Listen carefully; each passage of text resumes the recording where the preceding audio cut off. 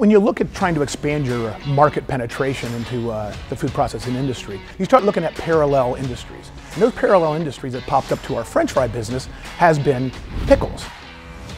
We recognize there's a, there's a need, there's a need to process pickles. We've approached that marketplace now with a complete hydrocutting solution.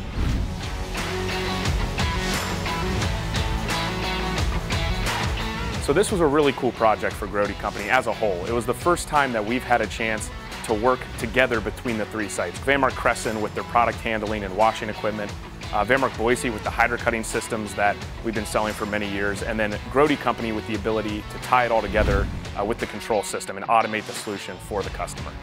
This project not only was a culmination of, but it was a validation of our vision to allow us to do more complete solutions to our customers. Well, I think the most exciting thing about this is that with an eye towards the future, uh, Vanmark Boise and Creston have already been trying to work more closely together.